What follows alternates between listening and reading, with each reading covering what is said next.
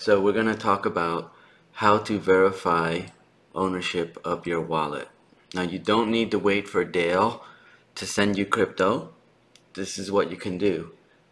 Can you log into your MetaMask? Now I'm already logged in here, but let's say that you weren't. If you came here and you see this welcome back screen and it says unlock, the only thing you have to make sure is can you unlock? Now, do you have your password saved? Okay.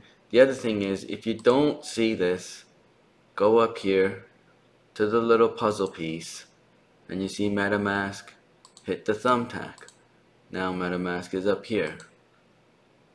Okay, same deal, right? You got to put your password in. Now this is okay. I'm logged in here. If you can see this screen, then it means you have full control of your wallet. Okay? Now, what do you do next? Step 4, how to get your QR code. You're going to float your mouse. Here it says account options. You're going to press account options and you're going to go to account details. Okay? Now, what I'm going to need from you are two things. One of them is you taking a screenshot of this. Okay? Or just take out your cell phone and take a picture of this. Alright, now let's move that over there. Or just take out your cell phone and take a picture of your screen to make sure that this wallet address is exactly what you've submitted to Airtable. Okay, now I'm going to copy that to the clipboard.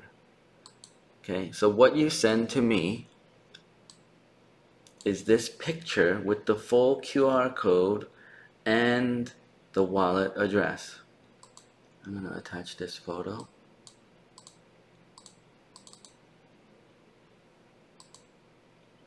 And then I'm also going to paste the wallet address. Alright, so I'm verifying those two things. This is just a test message back to me. And then I'm going to go to my wallet address form.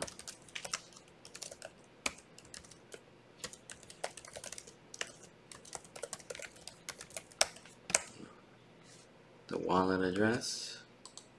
And for me, I'm just doing a test. And you submit your wallet. Then you are done. Okay, now Step 8. Step 9, bookmark. So,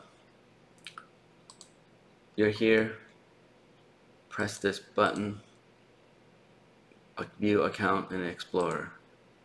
This is your public wallet address. You can bookmark and save this and you can see what's going on with it.